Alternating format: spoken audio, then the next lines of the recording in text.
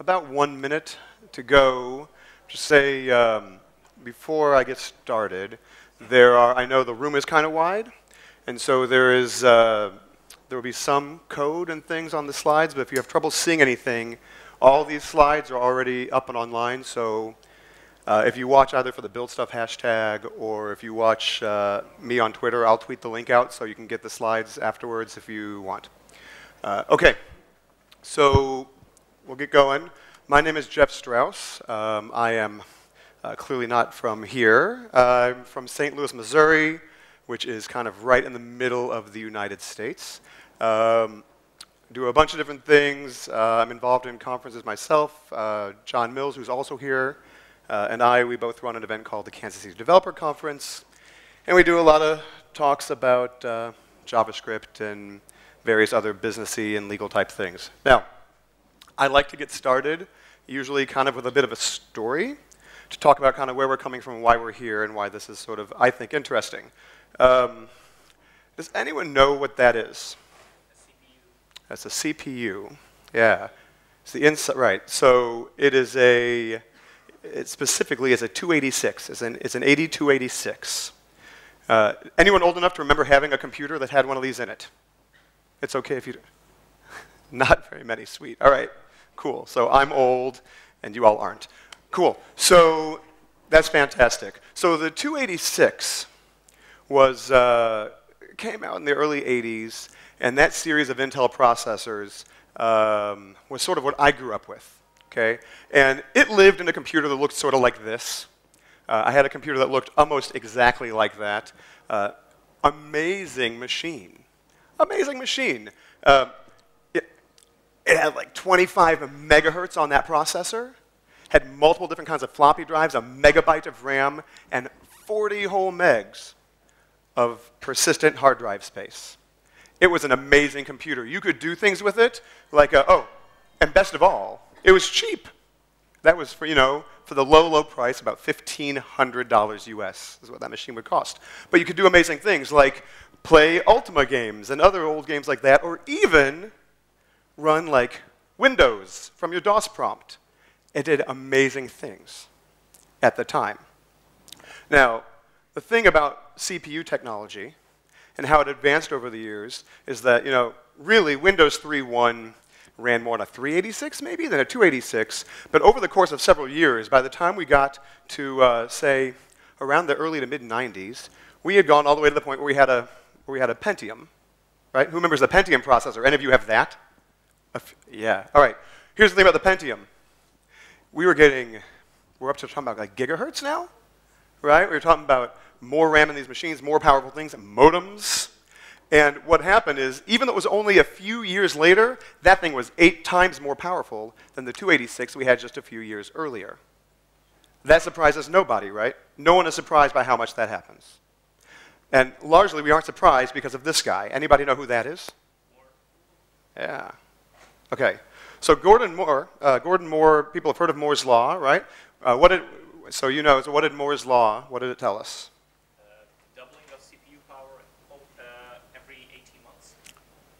Right, so he said doubling of CPU power every 18 months. Almost. That's what most people think that it said. What Gordon Moore really said in the mid 1960s, he was one of the co founders of, uh, of, of Intel. And what he predicted is that the number of transistors available on an integrated circuit would double every two years that was the original prediction, and then it actually accelerated over time before it started to decelerate. Now that held true for a while. The transistor, right, is, uh, Uh, if you watch how these CPUs are built, they're amazing. If you've never watched, you should watch how a CPU is actually created and how they take the silicon and they make these wafers. I mean, it's an incredible process. But on all sorts of these, on every one of these little chips, we have these transistors. And so this is actually a picture of the transistors from an 8080 from the mid 1970s. Six microns is small, right? A human hair is about 50 microns across. So this is small. This is small, but what's happened over time is we're starting now to talk about seeing three nanometer architecture. So that is 2,000 times smaller per gate, per transistor, than we had in the mid 1970s. And the problem with that is eventually, right, we're talking 10 atoms across. And so what we start to see is we have issues with quantum tunneling. And, and are people familiar with that idea? Anyone seen this, right? Where we're, we're expecting that these electrons and particles will flow through these gates. But we're getting to the point where the gates and the, and the transistors are so small that sometimes through, I'm not a quantum physicist, but these things will actually appear on the other side of the gate. We start having errors because, because physics. I don't understand the physics well enough to explain that other than that's a thing. What that means is we can't keep making the transistors smaller. We can't keep making the CPUs faster. So what do we start doing? How do we start handling that? Right. More cores. That's great. It lets us build faster applications. It lets us harness the technology we have, do things more, increase our computational power. And if you're a .NET developer, who's a .NET developer in here? Right on, me too. Okay? If you're a .NET developer or a Java developer or a lot of other things, that's wonderful because we have tasks and threading. And what about JavaScript?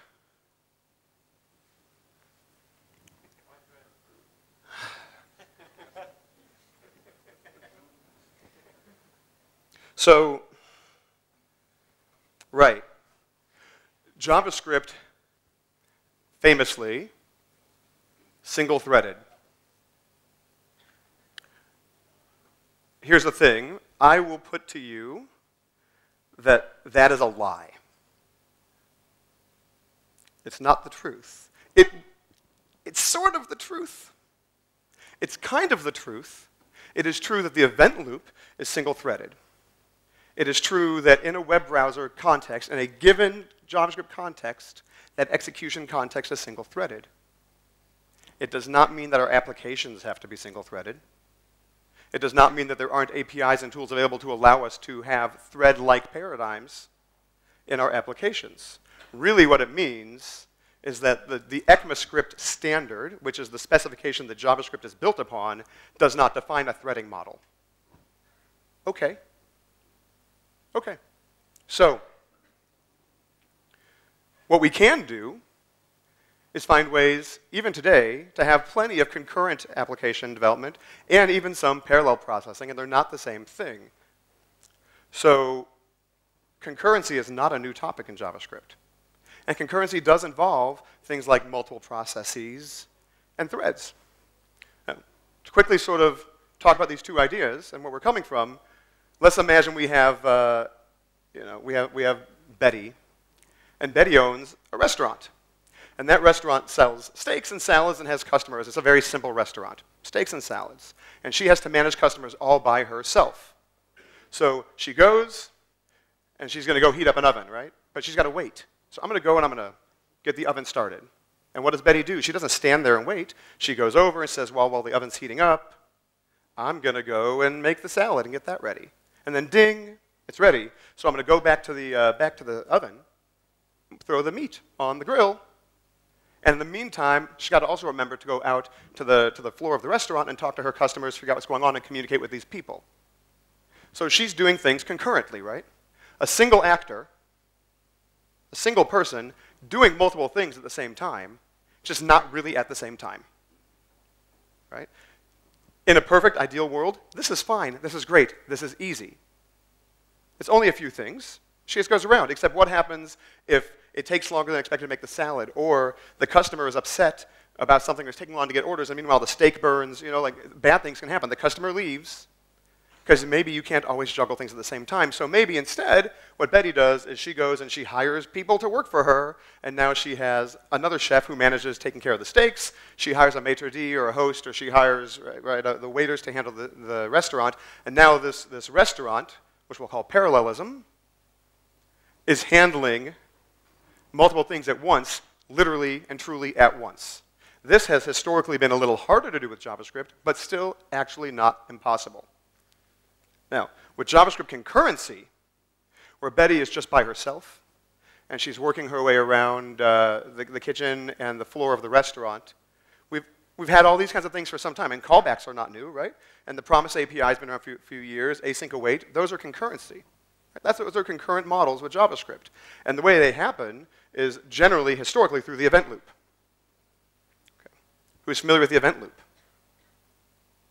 A handful of people. So here's kind of how this works today.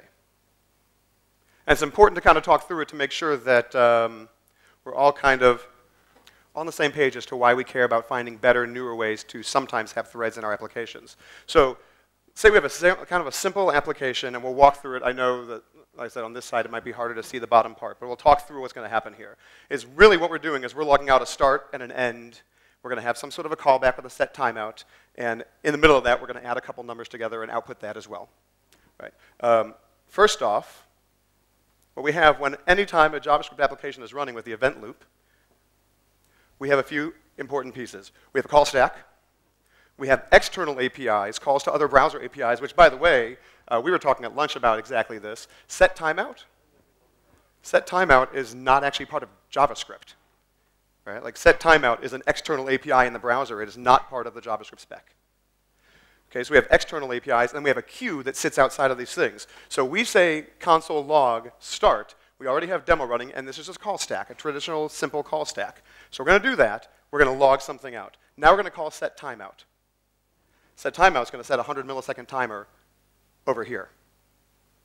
Right? So that's an external API, and it's basically a scheduler, and we say sit over there for a little while, and we keep going. Now we do some more work. We add our numbers together, and we log two. And then somewhere in between here, ding, it's ready, right? The oven's preheated. We're ready to go. So now our callback is done. It's been 100 milliseconds. So we should log callback, right? But we don't do that. The callback gets put on that queue. And when things go on the queue, the way the event loop works is nothing comes off of that queue until the call stack is empty, until the call stack is done. So now we have to log end. It doesn't matter that we finished the, this timeout before. We have to log end first. When it's done, then we look and say, is there anything on the callback queue, and we stick that up and we run that. Right? So the end result of that is we don't get start to callback end. Callback is actually the last thing that comes out to our console. And it doesn't matter that it took 100 milliseconds and it stopped here if you set a set timeout to zero milliseconds. So it is done instantly. It's still an external API call, which means you have to get through your call stack first. Before that, you'll get the same result no matter what. Okay? So the trouble here is, aside from kind of understanding how the, the, that works, we think, well, that's fine. Like, that's cool. I really just like cats. Um, but we think, that's cool. Um, ex except just because we understand it doesn't necessarily mean that it's okay and we can always program around that. Because what happens if instead of adding 1 plus 1 and logging 2, we have some kind of big piece of blocking code. Long running process, heavy computational load, image processing, fetching a massive amount of data, something. And it sits in blocks. So now our 100 millisecond timer or our 0 millisecond timer or whatever goes to the callback queue and it sits. And it sits. And it waits. And then it waits some more. And this whole thing is going on on the call stack and it never ends. And eventually you get to see this guy. And we never want to see that guy. But there's nothing we can do about it, right? Well, wrong. Has anyone worked with web workers before? Like three or four people. Cool. That's good. No, that's actually, this is really good. So web workers attempt to solve this problem, and is kind of the, one of the original ways we attempted to solve this problem with JavaScript. It, they aren't new. Right? Web workers were first kind of implemented in browser, I believe around 2009. So it's not a new idea. But how they work, they're just like set timeout. The worker, the web worker API is an external browser API. It's not part of JavaScript. It's not part of the ECMAScript spec. It's an external API that you can call. And it's really simple. I mean, it's really simple. You say new worker, right? You assign var or whatever, or let, let worker equal new worker, and you pass in, at its simplest, you pass in the name of some script file. That's it. I mean, like, it's not really it, but like, that's it. Because what happens now is that worker, each one of those that you spin up gets its own execution context. That worker is another execution context for JavaScript to manage and run another script somewhere else in its own process with its own thread of, of allocated resources to do its thing. So now, and they're real threads. They're, they're operating system level threads that are being allocated to your worker. So once you create that, you can work with it. And there's just a, really a couple of methods that you're going to care about. So you create a worker, and we'll kind of step through an example in a second, but you create a worker, and that worker has a couple of sort of global level functions uh, are associated with it. One is posting a message. So it's a messaging sort of protocol. That worker has messages that pass data back and forth. And the other is its own event, the message event. So you can either say like self.add event handler and add the message handler, or you can just say on message and assign an event handler for that message that handles when the data or the messages posted. So how does that work? Again, sorry, but uh, assume we have two different scripts, very simple scripts. One is main.js, one is work.js because worker didn't fit there with my font. So one is main and one is work. This is our main application. We're going to do a few things. First, like I said, we're just going to say new worker, and we're going to pass that script file in. Right? So now I have a worker thread, a worker process that is executing this guy while my application on the main UI thread, my main application thread, is busy doing its work over here. As soon as I execute that line, while stuff continues happening over here, over here, the thread spins up and it just starts executing code. And all that we have to do over here on this side, on message and post message are, are kind of global attributes of the worker itself. So we have to, you could say self dot on message, but you say on message equals, and we're going to give it an event handler, which we'll come back to, because it's going to post something back, and we'll look at that. But that's all that happens on the work side for now, is we're going to create an event handler. Wait for that one to come back. In the meantime, back on our main thread, we're going to attach a message handler to this guy as well, because I got to talk back and forth. So the worker for this specific, right, let W equal, so W is my worker. For this worker, when I receive a message back, I'm going to do the following thing. I'm going to simply say worker says e.data. So e is just the event uh, object that comes back with the message event, and it has a data property that is the thing that was posted. So in this case, e.data is whatever got posted from the other side. So I'm going to log out worker says e.data. And then once that's all set up, I'm going to tell my worker, I'm going to post a message, talk to me. As soon as that happens, this fires off. So my worker has been sitting here just waiting. It's running, it's executing on a background thread, and it's just waiting for its turn.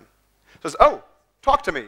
All right, so I got something. So now it does the same thing over here. I'm literally, it's a very simple, dumb example application. I realize it doesn't do very much, right? But it illustrates the point. Over here, now it wakes up. It got a message. So I'm going to say that main says e.data. And then I'll post the message back, here I am. The end result of all of that is you have the worker putting out to the console that the main said, talk to me. And then the main thread says that worker says, here I am. Does all make sense? Okay. There's a lot of use cases for this kind of stuff because, like I said, the problem is we have the blocking code problem with the event loop. So if eh, web applications historically, this isn't even true. I always want to say historically we didn't have to worry about these things and that web apps are trying to do more today, but that was really never the case. We've always had some problems with non-responsive UIs and issues with the DOM and, and websites getting hung up because of whatever processing is going on. So, but, but in particular, things like spell checking, like live spell checking in a web application, Uh, it says some of these things already. If you're handling a lot of data, image processing prefetches, or especially long-running type calculations that are processor intensive, things that have a heavy load, or things that maybe have a lot of spin up and a lot of memory use or wasted effort to spin up and tear down all the time. You can instead take that thing, put it in a worker, and let it sit there and run and respond to messages when they're needed. I'd like to say it's that easy and that's all there is to it, but it's not. Because were, we'd be done. So, one thing is cleanup. What do you do with these things? Because now we have threads sitting out there. Um, how are we going to handle that, right? Because now I say I spin up a worker, and I may not just spin up one. Depending on the kind of application, I may spin up a whole lot of workers. These can all work together, right? I can have a bunch of workers that all talk to each other. I might have a lot of threads going on, and now all of a sudden, what was my nice, simple, clean web application that was single-threaded, just had one event loop, has a lot of resource usage going on. When does it go away? Because it doesn't just, you know, it doesn't necessarily go away just because it's done executing itself. Remember, work.js only had like effectively one expression in it, which was set up an on message event handler. Then it was done. But it has to stay alive, right? People are listening to it. Or it's, I'm sorry, it's listening to the main thread for messages. So it doesn't go away on its own. So there's a few easy ways to do it. One is that the worker itself has a close function. Just close. So you can tell the worker, do your thing, and when you're done, close yourself. And it goes away. Or externally, if I'm in, say, main.js, I can directly tell my worker to terminate itself. So it's close if I'm inside the worker, like self.close, or it's worker.terminate, w.terminate in our example before, to shut yourself down. Right, so we can either do it this way, with close, or this way, telling it to terminate. Now, the thing about terminate is that it's immediate. It's done. The worker's in the middle of doing something, don't care. Doesn't matter. Stop everything, shut yourself down. And it goes away. What's more is once it's gone, it's gone. So that doesn't mean you can't spin up another worker, right? You can create a new worker again, pass the script in again. But if you had, say, internal variables and things you were keeping track of inside the original worker, once it's closed, you're not going to reopen it. So you don't just want to like terminate on a whim. So you need to manage these things. How do you tell if it's closed? You ask it if it's closed, right? You say, is, this, is it closed? yeah, you, you, you, can't, you can't do that um, because, because JavaScript. So there is no simple way. There is no simple way. Um, that doesn't mean it can't be done, but it means you need to think about it. If you're going to need to be constantly polling, for example, and say, is this thing still active? You may need to either create your own properties on your worker or have something that you can call into with some way to tell. Keeping in mind, of course, that once you tell it to terminate, you can't access that thing anymore. Right? But you also can't tell if worker is, it doesn't just go away because terminating or, or, or closing the worker doesn't make it undefined. It doesn't make it null. It just makes it so, like it's still a variable that's in scope. You just can't talk to it anymore. Because there's the worker, which is kind of the, the surrounding sort of package that holds that script, and then there's the script itself that's gone, but the worker hasn't gone anywhere. So it's not, not great. Not great. But here's the other thing to remember is that uh, who thinks that all browsers work together really well and all function the same way? Good. All right. So we're on the same page there. Because um, they clearly don't. And just like I said, yeah. Yeah. Node.js. So Node.js is like a whole different set of things. Um, Node.js and, and I'm more of a web guy directly than a Node guy in terms of like what I do every day. What Node has been looking at and talking about, and I don't know if it's actually like live and full on release, is Node is looking at other ways of handling uh, some threading. And it, right, yeah. that's right. But it's not the same. Yeah, not the same. Right. So they're supported, but it doesn't really work the same, doesn't exactly work the same way as it would in a web browser. Uh, that's a good question, though.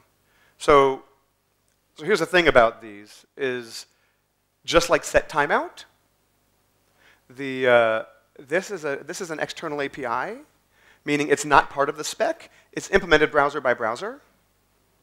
So you have to, and we love when JavaScript works that way. Um, so you have to sort of be aware, because, and the reason I bring that up is because, yeah, you can call close or terminate, but the thing is, you can't necessarily trust when the thing will go away. So you still need to manage that and come up with a way to terminate and close your workers down because while the browsers do have garbage collection and they do have ways to clean these things up when they're gone, like some browsers say that when you close the web page that spawned the, the worker, the worker should go away. But there's no strict like, there's no strict way on how and when that happens and exactly where. So just because you close your app, keep coming off this ear. Once you close your app, uh, maybe the worker goes away, maybe it doesn't. So you do need to make sure that you basically like clean up after yourself. I have two young kids. This is not either of their rooms. Um, looks a little like my son's sometimes. But uh, you need to clean up after yourself because if you just leave it out there, you don't know when garbage collection is going to come and clean these things up for you. So you need to manage them. The other thing is there's limits on how you can use them. So you can pass a lot of data back and forth to a web worker. Right? You can pass in, it doesn't have, you know, I was using simple strings, but you can pass objects back and forth. But you can't pass certain things. You can't pass DOM elements back and forth. You can't pass anything that's in the global or window scope. You can't see parent functions of the things you pass back and forth. The DOM thing is the most important because one of the reasons that the worker API kind of came into existence in the very beginning was because of the blocking issues with UIs. So the main thread is still managing the DOM the main thread is still in charge of rendering the stuff on the DOM. You can't even pass DOM nodes in. If you want to manipulate the DOM with the worker, you can do that, but you have to pass the underlying data and then pass it back to the main thread and let the main thread render once the heavy lifting has been done. How do we communicate more with these things? So, I already kind of talked about this a bit. I said, oh, we share this data, right? We pass a string you know, talk to me, or here I am, or here's an object with a lot of stuff I want to pass to a worker. So we share the data, right? Except we, we, we don't share the data. There is no data sharing with web workers. It's another important thing to think about in terms of when you're deciding whether you want to use them. What you're really doing is copying the data. It's a messaging system, and it's not transferring. And it's not sharing. Right? So if I have a large object, and I need to put something and give it to a worker and pass it back and forth regularly, bear in mind that every time I'm doing that, I'm cloning the data. I'm not just giving a handle. It's never being passed by reference, at least not by default. So if we go back to the main JS and work.js for a second, let's use something a little and only just barely more, more interesting than strings, is if I pass an object in instead that has x and y, that's just two numbers. All right, so I have foo, that's x and y, and that's what I post. And over here, I do something with foo. It doesn't matter, right? Because I'm not actually passing foo. I'm taking foo, I'm making a clone of it, and e.data has that clone. I can create my own variable called foo, but that variable foo is scoped to this worker. It's scoped. And I can manipulate it and do stuff with it, and I can pass it back. But when I pass the manipulated version of foo back, I pushed the wrong way, sorry. And I want to compare the two. The one I get back from my worker is going to have 42, but the one that I always already had has a 1 right? So you have to think about that too. Not only because you have to remember and actually like do stuff with it, but you got to think about the implications of sending things that are that have a bigger memory footprint than one and two or the string here I am. You got to think about what you're actually passing around. And what it uses is a, like a structured clone algorithm, and all that really means is it's a deep clone of the object that you pass. But it does a few extra things.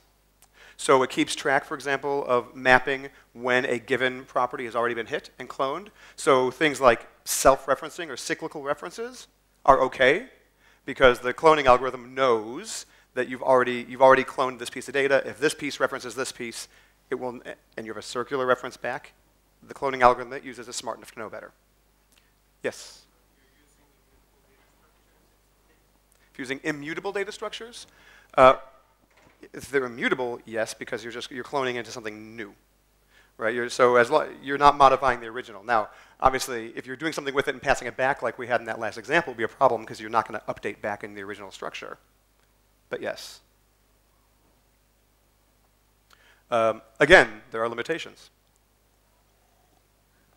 So you still can't do anything with a DOM. The structure cloning algorithm will not clone a DOM node. It will not clone an error of function uh, object. It will actually give you an error. It'll say data clone error, and you'll get that back, and it will not work. Uh, it also doesn't go up the prototype chain, and it doesn't clone the descriptors themselves. So it's not that deep of a deep clone. So when you have like an enumerable descriptor or a uh, like a mutable, like a writable descriptor on a property, that itself doesn't get copied over. So to your point, right, if you've written something and you have an object that is immutable, or you have a descriptor that's that on a property that is not writable, that descriptor doesn't make it into the worker. Yes. What if you copy a frozen object? I don't know. what if you copy a frozen object? What if you pass a frozen object into the worker? Well, you're not passing the object in. Is it going to stay frozen? I don't know. I'm going to look it up when we're done. I don't know. Uh, yeah, the so the question was if, like, if you like object.freeze on a thing and then pass it in. Um, I want to say no, but I don't know. I'm going to look it up, and then I'm going to post the answer. That's a really good question. No, does anyone else know the answer to that? Do you know the answer to that? Okay. I don't know. All right. So I said we're sharing data. Well, we're not sharing data, we're copying data. And I said we're not transferring data, and I lied to you again. Uh, you can transfer data. It's just not the default. And when I say you can transfer data, only very limited types of data. So Remember we had post message before and I just post foo, right? I can post an object or some data over to my worker. Well, I can also post foo and then a list of objects that are transferable. Now, transferable is a new, uh, like a new interface that, or, well, it's really not that new, that says um, it's a specific kind of thing that lives on top of an array buffer, like a byte array. So if I create a byte array, does anyone work with byte arrays? When I say that, do we know what we're talking? Okay, only call people. So a byte array, like is more very explicitly structured, fixed length, generic data where I can write and talk directly to like the addresses, like an index of bytes that I can talk to and read and write from. Not the kind of thing you use in your everyday work, but if you're doing things like image processing and that kind of stuff or heavy computational loads, that might also be the kind of work you end up needing to do. So what, what happens here is, let me see here, at the very top, well, let me go back here. At the very top, I have an array buffer, and that array buffer is 1,024 bytes. It's a kilobyte of memory. It's all it is. A fixed length piece of memory as an array. Now, I can pass that thing in. I still have to create an object. So I create foo. My event.data does not have to be that array buffer. I create foo. I give it whatever other properties I want, and I make sure that that buffer also exists in my object. It doesn't have to be one thing. It can be a bunch of different things. I can have four different array buffers if I want that serve different purposes, all in this object. And the only difference now is when I call post message, I post all of foo, and after that I say, and here's a list of some of the things that are in foo that are transferable. If I do that, what ends up happening is uh, now, instead of doing a deep clone, or a structured clone, the actual array itself, that buffer, exists in the worker as a full transfer. Now that's great because it is faster. It's great because I don't have multiple copies of this thing using up memory. On the other hand, um, you can only use it on those array buffers and image bitmap type things. The way, so what really happens with an array buffer is you take it and then you put a view over it and you say, I've got a one kilobyte of memory and I want to use it for, say, an array of int32. And then I get to address those things and I have a certain number of ints. But not only that, it's still only one thread at a time. So we're not sharing. We're not sharing it. We're transferring it. Right? So I'm taking this original piece of data and my main thread is posting it over to my worker. My worker is receiving it. And my main thread can no longer see it. Makes the thread safe, I guess right? But, and then you can pass it back from the worker to main. But no two threads can actually see it at the same time. Okay. Any other questions? Yes? Can a worker spawn other workers? Yes. Yes. Okay. So, broadcast channels. Broadcast channels are like workers. Kind of. They have a very similar API. But broadcast channels are more for actually having a shared context. So, and what I mean by that is, even though we can spin up all these different threads and all these different workers, you still have like, here's your window, here's your browser, here's your application that's running right now. And it can have 10 different workers and 10 different threads doing things, but they're all living inside this one, this one web app. And this one web app knows how to talk to all those workers, but nobody else does. Broadcast channels change that. What broadcast channels do is instead of creating a new worker, I'm going to create a new channel. And I'm going to give it a name. I'm just going to call it, I'm just going to call it foo. When I create that channel, and I can have multiple different main threads, multiple different pages, all executing, and they can all create a broadcast channel, and they can all call it foo. They don't have to. They can call them other different, you know, different things. But every single, uh, every single execution context that creates a channel that is called foo is talking to the same channel. So now, I don't have to use the name foo again. Foo is just the name when I put it in the constructor. But when I say channel on message, I'm saying I'm just listening on the foo channel. It's more like a pub sub type thing. I'm listening on the foo channel. I am posting a message to the foo channel, to whomever is listening. So, um, so I have a teammate who I love dearly. And uh, so I look at his browser sometimes, like, hey, can you look at this thing? And I'll look over at his browser, and he has like 900 tabs open. And I think, man, like, how is your machine not on fire? Um, but if you have a bunch of tabs open, if your application, maybe it's an internal like line of business application, who knows, and you have things happening in multiple contexts, what the broadcast channels do is they support tabs and other workers, which means that if I am sitting there in that with, uh, let me go back, in this situation, and I have an app running in this tab and this tab and this tab, the one that's here can create the foo broadcast channel. So can these two. These two can listen on that channel, this one can broadcast something on this channel, and all of them can respond. So it's cross-tab. It's like a cross-tab worker. Now, that's cool. Just make sure that you follow the same origin policy, and, and I think that's a reasonable thing to expect, right? So what I mean by that is I can't have a broadcast channel that is spawned from, some, from a script that's running on google.com and then also have something that's on stackoverflow.com create the foo broadcast channel. They cannot talk to each other. It's just like any other issue with CORS. If I have cross origin, it will not work. So what the broadcast channel does is any execution context you have from the same origin can create a, a broadcast channel with the same name, and they all talk to each other. Make sense? Okay.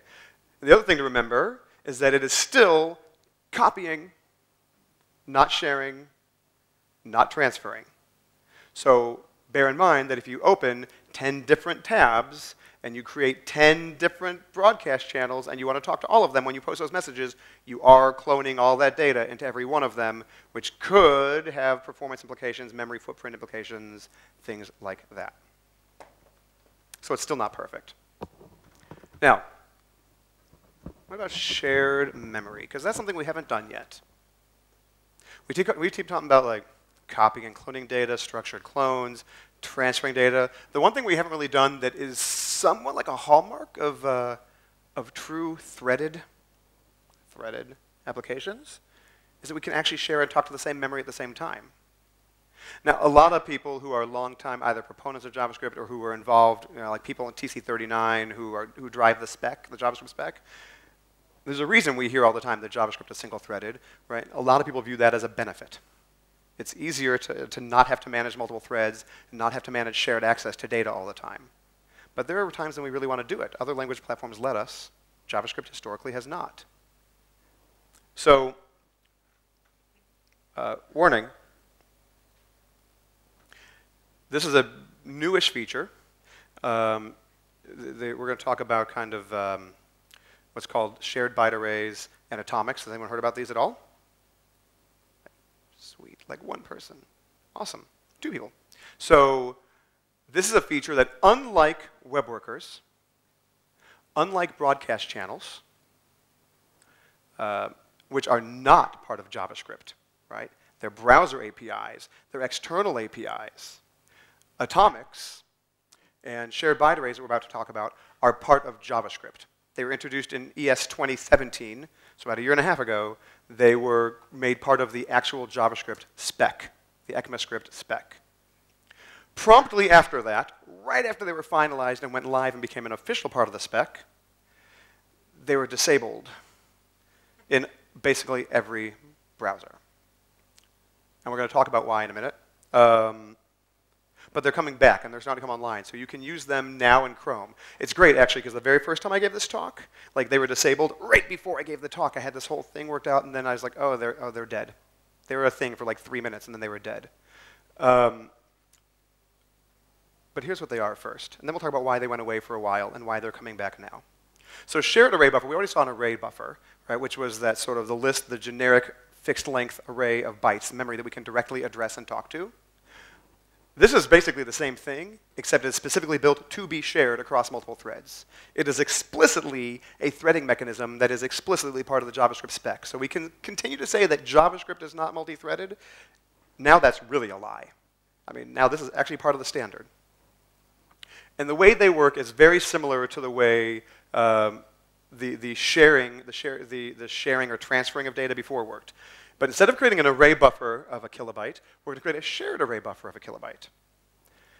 And then what we do with it, and we, I didn't show this before, but this is how you would work with a, share, with a regular array buffer as well, is you don't just talk to the array buffer. The array buffer cannot be addressed directly. That's just setting aside the memory. And what you do is you put a data view over that thing. It could be an int32 array. It could be any other kind of typed array. Um, int16 in 64 type arrays that sit as views over that so that when I address them, I'm not addressing the byte, I'm addressing the chunk of bytes, right? So I'm really addressing uh, you know, a 32-bit chunk of that array when I want to talk to uh, and put an int in. Now, I pass the shared buffer into here, and then I create a worker, just like I would have before. I create a new worker, I call work.js or whatever, and I post my int array, which is, has a shared array buffer underneath it. On the worker side, I'm listening on message. This part's, I know, really kind of faint. But this is just my message handler. It receives E, so now I'm going to say, okay, great, I have a worker int array that gets E.data, and I can do stuff with atomics. I'm going to say atomics.store on this shared array at index 42 the 40, right, the 42nd slot in that array, and set the value to 500. Okay, I can directly address that memory and put things in it. And this is a shared, shared thing that is seen by the main thread, by this worker, and by any other workers I might share and post it to. It is genuinely a single allocation of memory that can be addressed by multiple threads at the same time. The reason we have to use atomics then is that the atomics library is worried about thread safety. That's something we've never really worried that much about in JavaScript. Never really had to care. But atomics allow us to uh, try to protect ourselves from ourselves. So atomics handles like the locking of access and things like that. So for example, atomics has a handful of, of functions available off the, off the API. So you already saw store. There's also load. So store, which for me is really weird because I still, I hear the word load, and even though I should know better, it's like you load something from disk, but I, I still hear the word load and I think I'm loading this into it. You're not. Loading is reading from it. Storing is putting a value in. So when you call atomics.load, you pass that shared buffer in, and you give it an index, and you get the value back. If I want to store something, you same deal, but you also give it the new value you want to put in. And there are others as well. Um, so exchange is simply saying, I want you to take a value that already exists give that old value back to me and store something new in its place, but actually return the value. If I just do store, I don't get anything back. If you say exchange, you actually receive the value back, the old one. And then add and subtract are just for doing like math inside the array. Same thing, bitwise logic and XORs, ORs. But the point of all of these is that by using atomics, we lock the thing. So no other writes or reads can happen. Sorry? Like the and and or type things.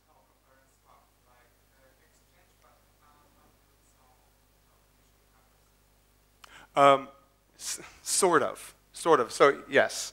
So uh, yeah, that's actually the next slide. So it's a good question. So um, I'll show you. They're similar. They're not exactly what you're saying.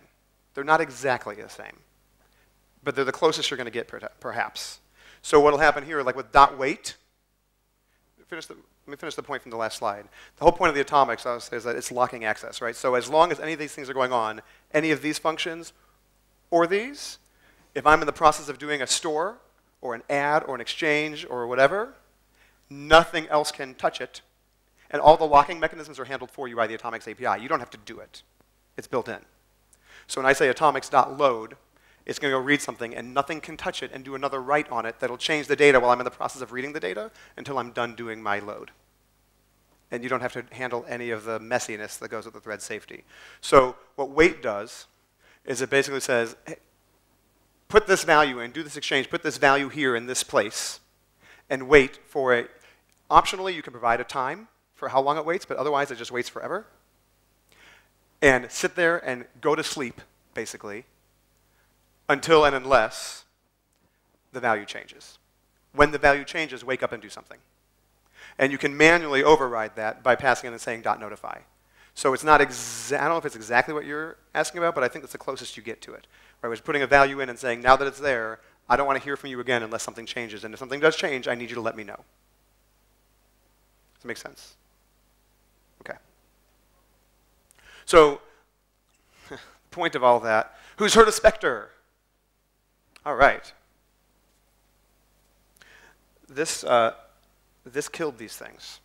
Just killed them. they never thought about it until after they approved it, and then they started being implemented in browsers.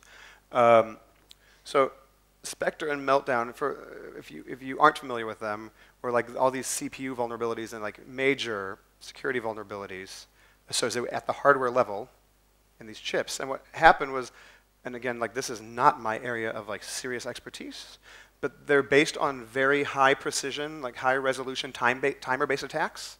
Because the, part of how CPUs do what they do is they employ like predictive logic. So sometimes when a CPU has to make a decision about where to go with the gate, it kind of assumes both, or makes a prediction and then it waits, and if it's wrong, then it backtracks, but it tries to predict where to go in order to get better computation out of the chip. And so with perfect timing-based attacks, a malicious actor can come in battery. It down the mic, tell you louder.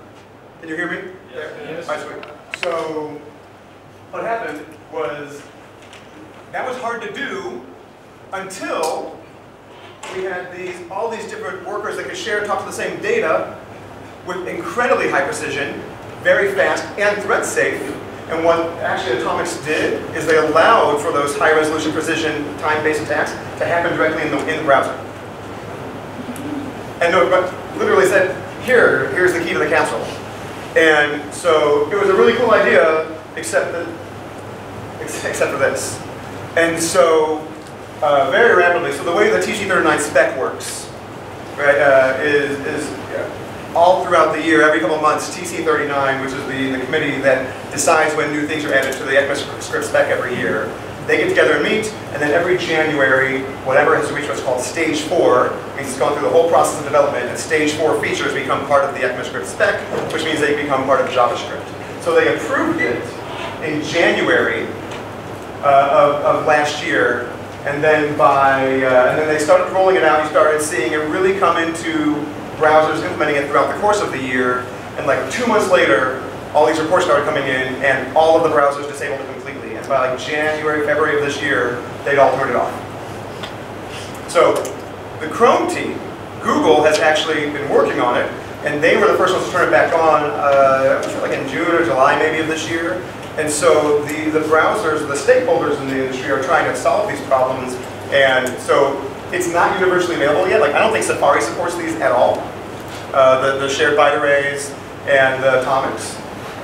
But, uh, but Chrome does, I believe Firefox does now as well. So they're coming back. So be aware of it, but if you need it, uh, I'm sorry, but you can't use it quite yet. So, as said, and I don't know we're doing on time, but I think we're probably getting something close. So, what I want everyone to do basically is just play around with these things. very few people raised their hands when I said, who has worked with or seen or used web workers? Like, very few people, and this is a nine-year-old thing. Because we don't hear about it, we don't think about it. Um, there are places where if you really think through, you might identify issues where you can actually improve the performance of your web applications and do more things with these tools that have been available all along. Okay? Um, and keep an eye on the whole Spectre thing. Because when that comes back, and when they really do solve the problem, because originally they were saying they were just weren't going to solve it and drop it on the floor, but they are fixing it. So when it does come back and become available, there's a whole lot you'll be able to do. So, that is all. Thank you very much.